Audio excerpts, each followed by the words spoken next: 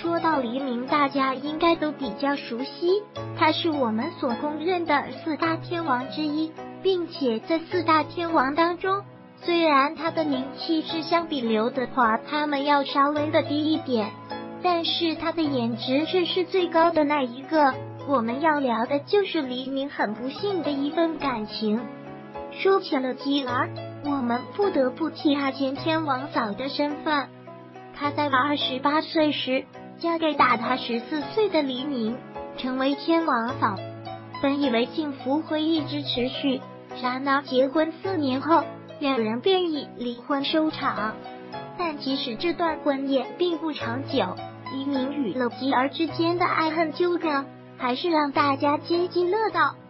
尽管婚姻时间很短，不过在和黎明生活的四年时间里，乐基儿对于买买买和吃喝玩乐从没停下来过。有消息称，乐基儿花钱如流水。港媒报道，他四年时间花了七个亿。然而，幸亏他们找到了他们各自的联系。